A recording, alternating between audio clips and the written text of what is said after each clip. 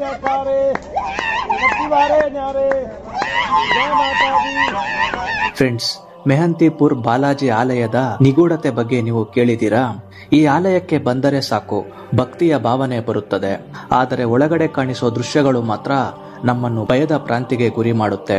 ಈ ಆಲಯದ ಬಗ್ಗೆ ಶಾಸ್ತ್ರ ವಿಜ್ಞಾನಿಗಳು ತುಂಬಾ ಪರಿಶೋಧನೆಗಳನ್ನು ಮಾಡಿದರು. ಭೂತ ಶಕ್ತಿ ಆವರಿಸಿದವರು ಇಲ್ಲಿ ಸಾಧಾರಣವಾಗಿ ಬದಲಾಗಿ ಹೋಗ್ತಾರೆ. ಮಾನಸಿಕ ಶಾಸ್ತ್ರ ವಿಜ್ಞಾನಿಗಳು ಕೂಡ ಮೆಹಂದಿಪುರ್ ಬಾಲಾಜಿ ಆಲಯಕ್ಕೆ ಬರೋ ರೋಗಿಗಳ ವಿಷಯಗಳ ಬಗ್ಗೆ ಪರಿಶೋಧನೆ ಮಾಡಿದರು. ಪರಿಶೋಧನೆ ಮಾಡಿದ ಮೇಲೆ ವೈದ್ಯರ ತಂಡವು ಆಶ್ಚರ್ಯಕ್ಕೆ ಒಳಗಾದರು. ಮೆಹಂದಿಪುರ್ ಬಾಲಾಜಿ ಆಲಯದಲ್ಲಿ ಏನಿದೆ? ಈ ಆಲಯದ ಮೇಲೆ ಪರಿಶೋಧನೆ ಮಾಡಬೇಕೆಂದು ಯಾಕೆ ಆಸಕ್ತಿ ತೋರಿಸಿದ್ದಾರೆ? ಇಲ್ಲಿ ಬರೋ ರೋಗಿಗಳ ವಿಷಯದ ಬಗ್ಗೆ ವೈದ್ಯರು ಹೇಳೋ ಮಾತೇನು ಎಂಬ ವಿಷಯಗಳ ಬಗ್ಗೆ ತಿಳಿಯಲು ವಿಡಿಯೋನ ಪೂರ್ತಿಯಾಗಿ ನೋಡಿ.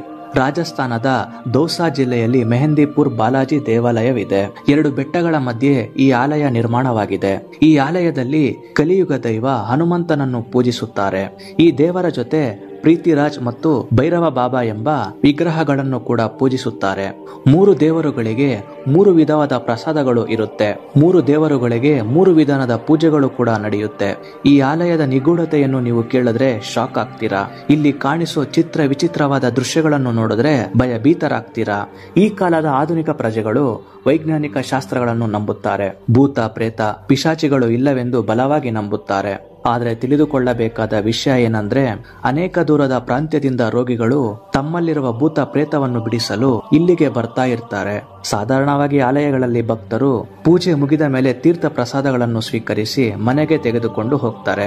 ಆದರೆ ಈ ಆಲಯದಲ್ಲಿ ಇಂತಹ ಯಾವುದೇ ನಿಯಮವಿಲ್ಲ. ಇಲ್ಲಿ ಪ್ರಸಾದ ಸಮರ್ಪಣೆ ಆಗಲಿ, ಇತರರಿಗೆ ಪ್ರಸಾದ ಕೊಡುವುದಾಗಲಿ ಇಲ್ಲಿ ಜರುಗುವುದಿಲ್ಲ. ಇಲ್ಲಿನ ಪ್ರಸಾದವನ್ನು ಮನೆಗೆ ತೆಗೆದುಕೊಂಡು ಹೋಗುವಂತಿಲ್ಲ. ಕೇವಲ ಪ್ರಸಾದ ಮಾತ್ರವಲ್ಲ, ಇಲ್ಲಿಯ ಸುಗಂಧ ದ್ರವ್ಯಗಳನ್ನು ಕೂಡ ತೆಗೆದುಕೊಂಡು ಹೋಗುವಂತಿಲ್ಲ. ಈ ನಿಯಮವನ್ನು ಉಲ್ಲಂಘಿಸಿ ಯಾರು ತೀರ್ಥ ಪ್ರಸಾದಗಳನ್ನು ಮನೆಗೆ ತೆಗೆದುಕೊಂಡು ಹೋಗುತ್ತಾರೋ ಅವರನ್ನು ಭೂತ ಪ್ರೇತಗಳು ಆವರಿಸುತ್ತೆ ಅಂತ ಹೇಳ್ತಾರೆ. ಈ ಆಲಯಕ್ಕೆ ಸಾವಿರ ವರ್ಷಗಳ ಚರಿತ್ರೆ ಇದೆ. ಈ ಆಲಯದ ಹನುಮಂತನ ಪ್ರತಿಮೆಯನ್ನು ಸ್ವಯಂ ವಿಗ್ರಹವೆಂದು ನಂಬುತ್ತಾರೆ. ಅಲ್ಲಿನ ಪರ್ವತಗಳಲ್ಲಿ ಈ ಹನುಮಂತ ವಿಗ್ರಹ ಸ್ವಯಂ ನಿರ್ಮಾಣವಾಯಿತೆಂದು ವಿಶ್ವಾಸಿಸುತ್ತಾರೆ. ಮೆಹಂದಿಪುರ್ ಬಾಲಾಜಿ ಆಲಯದಲ್ಲಿ ಹನುಮಂತನ ವಿಗ್ರಹದ ಜೊತೆ ಇನ್ನಿಬ್ಬರ ದೇವರುಗಳ ವಿಗ್ರಹ ಇದೆ. ಅಂದಿನ ಕಾಲದ ಒಬ್ಬ ಸಾಧು ಈ ಆಲಯದಲ್ಲಿ ಮೂರು ವಿಗ್ರಹಗಳು ಇದ್ದ ಹಾಗೆ ಕನಸು ಕಂಡಿದ್ದ.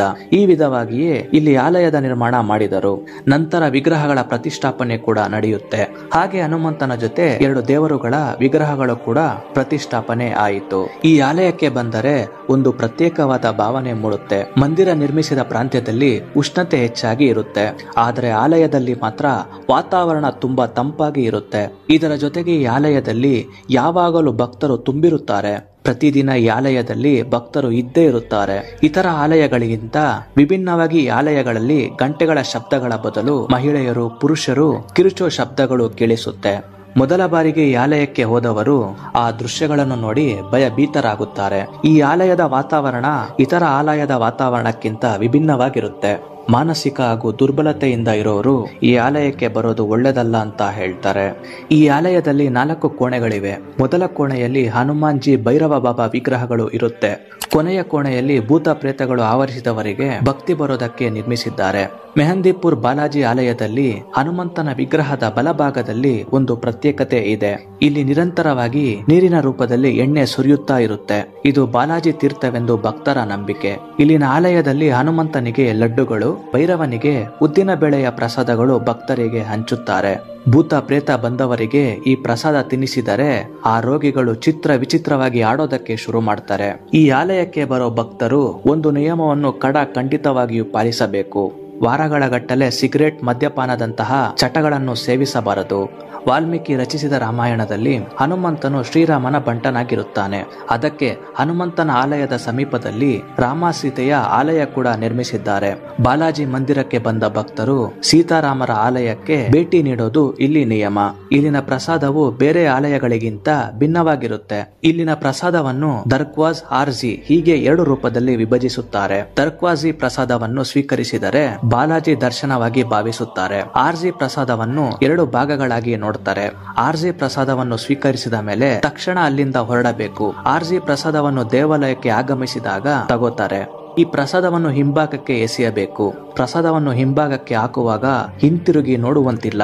ಈ ಆಲಯದಲ್ಲಿ ಪ್ರತಿ ಎರಡು ಗಂಟೆಗೆ ಪ್ರೇತರಾಜ್ ದರ್ಬಾರ್ ನಡೆಯುತ್ತೆ. ದೂರದಿಂದ ಬರೋ ಜನರು ಪ್ರೇತ ಪಿಶಾಚಿಗಳನ್ನು ಇಲ್ಲಿಯೇ ಹೋಗಲಾಡಿಸಿಕೊಳ್ತಾರೆ. ಈ ಆಲಯಕ್ಕೆ ತುಂಬಾ ದೂರದಿಂದ ಭಕ್ತರು ಆಗಮಿಸುತ್ತಾರೆ. ಇಲ್ಲಿಗೆ ಬರೋ ರೋಗಿಗಳ ಸಮಸ್ಯೆಯ ಪರಿಹಾರ ಈ ಆಲಯಕ್ಕೆ ಬಂದರೆ ದೂರವಾಗುತ್ತೆ. ಈ ಆಲಯದಲ್ಲಿ ಅಪರಿಚಿತರೊಂದಿಗೆ ಮಾತಾಡೋದು, ಅವರನ್ನು ಮುಟ್ಟೋದು ತಪ್ಪು. ಆಲಯದಲ್ಲಿ ಏನಾದರೂ ತಿಂದರೂ ಕುಡಿದರೂ ಕೂಡ ಅಲ್ಲಿ ನಿಷೇಧ.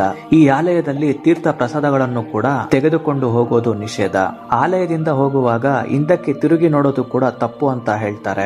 ಮಾನಸಿಕ ರೋಗಿಗಳು ಇಲ್ಲಿಗೆ ಬಂದ ಮೇಲೆ ಏಕೆ ವಿಚಿತ್ರವಾಗಿ ಆಡುತ್ತಾರೆ ಎಂಬ ವಿಷಯದ ಬಗ್ಗೆ ವೈದ್ಯರು ಪರಿಶೋಧನೆ ಮಾಡಲು ಮುಂದಾಗ್ತಾರೆ. ಈ ದೇವಾಲಯಕ್ಕೆ ಬರೋ ರೋಗಿಗಳ ಸ್ಯಾಂಪಲ್ಸ್ಗಳನ್ನು ಕಲೆಕ್ಟ್ ಮಾಡ್ತಾರೆ. ಈ ರೋಗಿಗಳು ಆಧುನಿಕ ವೈದ್ಯ ಚಿಕಿತ್ಸಾ ವಿಧಾನದಿಂದ ಕೂಡಿದ ಮಾನಸಿಕ ಸಮಸ್ಯೆಯಿಂದ ನರಳುತ್ತಿದ್ದಾರೆ. ಆದರೆ ಇಂತಹ ರೋಗಿಗಳು ಈ ಆಲಯಕ್ಕೆ ಬಂದರೆ ಸರಿ ಹೋಗುತ್ತಾರೆ. ಇಲ್ಲಿಗೆ ಬರೋ ಮಾನಸಿಕ ರೋಗಿಗಳು ವಿಚಿತ್ರವಾದ ಪದ್ಧತಿಯಿಂದ ಸಾಧಾರಣ ಸ್ಥಿತಿಗೆ ಬಂದರೆಂಬ ವಿಷಯ ವೈದ್ಯರ ಸಂಶೋಧನೆಯಲ್ಲಿ ಕಂಡುಕೊಳ್ತಾರೆ. ಆದ್ರೆ ಅದು ಹೇಗೆ ಸಾಧ್ಯ ಎಂಬುದು ಈಗಲೂ ವೈದ್ಯರಿಗೆ ಶಾಸ್ತ್ರ ವಿಜ್ಞಾನಿಗಳಿಗೆ ಇದು ಒಂದು ನಿಗೂಢ ವಿಷಯವಾಗಿ ಉಳಿದು ಹೋಗಿದೆ. ಆಧುನಿಕ ವೈಜ್ಞಾನಿಕ ಚಿಕಿತ್ಸೆ ಕೂಡ ಈ ಆಲಯದ ಮುಂದೆ ಚಿಕ್ಕದು ಅಂತ ಕೆಲವರ ಅಭಿಪ್ರಾಯವಾಗಿದೆ. ಇದಕ್ಕಾಗಿಯೇ ಯಾರಾದರೂ ಮಾನಸಿಕ ಬಾಧೆಯಿಂದ ನರಳುತ್ತಿದ್ದರೆ ಈ ಮೆಹಂದಿಪುರ್ ಬಾಲಾಜಿ ದೇವಾಲಯಕ್ಕೆ ಭೇಟಿ ನೀಡಿ ಎಂದು ಅಲ್ಲಿದ್ದ ಜನರ ಸಲಹೆಯಾಗಿದೆ. ಫ್ರೆಂಡ್ಸ್ ಇದಿಷ್ಟು ಈ ವಿಡಿಯೋದ ಮಾಹಿತಿ. ಈ ವಿಡಿಯೋ ಇಷ್ಟ ಆದ್ರೆ ಲೈಕ್ ಮಾಡಿ, ಶೇರ್ ಮಾಡಿ, ಹಾಗೆ ನಮ್ಮ ಚಾನಲ್ಗೆ ಸಬ್ಸ್ಕ್ರೈಬ್ ಆಗಿ ಅಂತ ಹೇಳ್ತಾ ಮುಂದಿನ ವಿಡಿಯೋದಲ್ಲಿ ಸಿಗೋಣ. Take care